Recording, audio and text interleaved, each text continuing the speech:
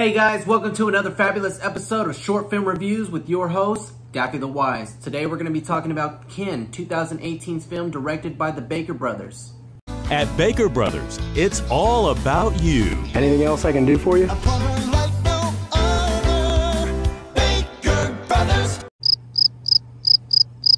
So the movie only had about a $30 million budget, but with only a $10 million box office. I could see why there were mixed reviews of some saying I didn't like it and some saying I did. So without further ado, let's cut to the chase and get to talking about the film. So the movie starts off with a pretty simplistic establishment of characters. You have young Eli falling into a troubled path his father, Parent Trap's Dennis Quaid, doesn't want for him, so that he doesn't fall into the same path his older brother, who soon comes into play, fell in. During this time, of course, Eli leaves home only to discover what one would consider an extraterrestrial weapon inside what's left of some abandoned building where what seems a battle has taken place. So, so far, I wouldn't say I'm giving away too much for you guys for this video. Um, there definitely won't be spoilers, but I will tell you some things that kind of bugged me in the beginning. Uh, for example, establishment of characters. Everybody's family, the brother, Eli, and his father, but everybody seems very transparent with each other, like they were separated all together at one point in time in their lives. Even though there's photographs of them that they've grown up together with their mother before she passed on. So it just, I didn't like the fact that everybody felt very transparent. It was all rushed to get to the point that Eli had the gun and the brother and him were on the run, you know.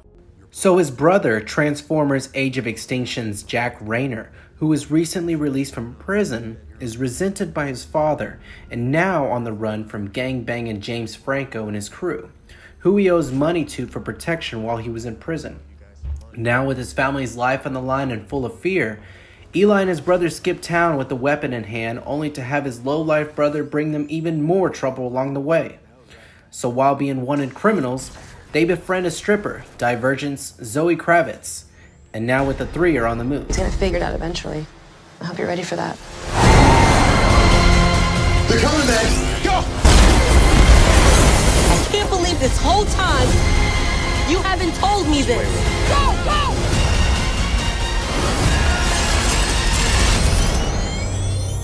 So there are a few more things that kind of irked me throughout the film. Um, now, don't get me wrong, it's still a pretty good film overall. It seems very uh, much like a pilot to set up for a sequel and a franchise itself.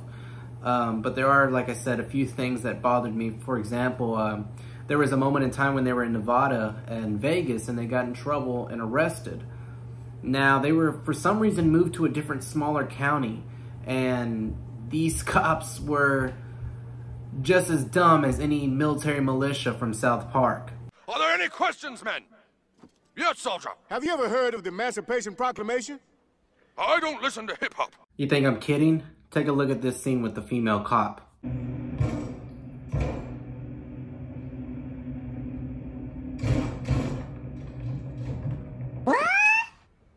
Alright guys, so that's all the time we have here today, so be sure to watch Kin. It's available now on Hulu. If you have any questions, comments, or concerns, be sure to drop it down in the box below. Subscribe to us, The Black Box guys. Got some crazy movie reviews, and we'll let you know what's coming up. Till then, I'm Daffy the Wise, signing out. Maybe keep that thing on the first mode, yeah?